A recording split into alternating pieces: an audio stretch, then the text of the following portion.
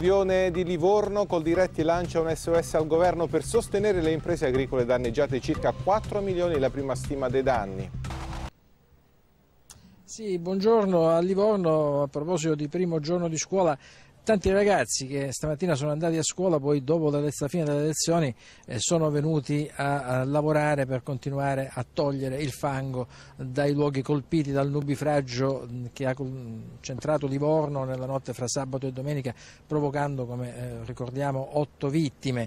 Eh, le vittime di questo nubifragio non sono eh, soltanto le persone, ma sono anche il tessuto produttivo di questa città, la sua economia, una parte importante di quella che è la sua economia, che è l'economia agricola l'economia florovivaistica dove ci troviamo è un'azienda, una delle tante aziende che sono state devastate eh, dal nubifragio, eh, un, una devastazione importante, danni eh, pesantissimi, ma ci sono addirittura aziende che sono letteralmente state spazzate via, sono scomparse. Ecco, in queste aziende vediamo tanti di questi ragazzi che stanno lavorando, che sono tornati a lavorare, ne abbiamo alcuni qui nella, in questa sera dove stanno cercando di ripulire dal fango, oh, stanno togliendo oh, quello che in questo momento ancora in prigione funziona le strutture ed è il primo passo per tornare ad una normalità. Dalla parte opposta, se Luca eh, Gabanelli può passare da quel lato a inquadrare quell'altra parte della, dell'azienda, vediamo che eh, c'è un'altra parte di giovani, di ragazzi, li hanno chiamati tanto tempo fa angeli del fango,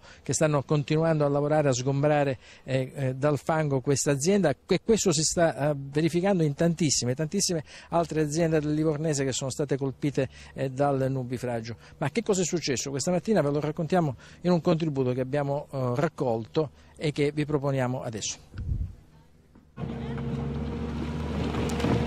A Livorno, dopo il nubifragio che ha messo in ginocchio la città, levando la vita ad otto persone, si cominciano a guardare i danni. Sono decine le aziende colpite, alcune nel comparto agricolo sono distrutte, altre, come questa dove ci troviamo, hanno avuto danni gravissimi. Guardate, il fango ha spazzato via tutto. Queste una volta erano le caldaie per riscaldare le serre, adesso sono solo dei rottami. E questa mattina a Livorno è arrivato il presidente nazionale di Coldiretti per un sopralluogo nelle aziende colpite.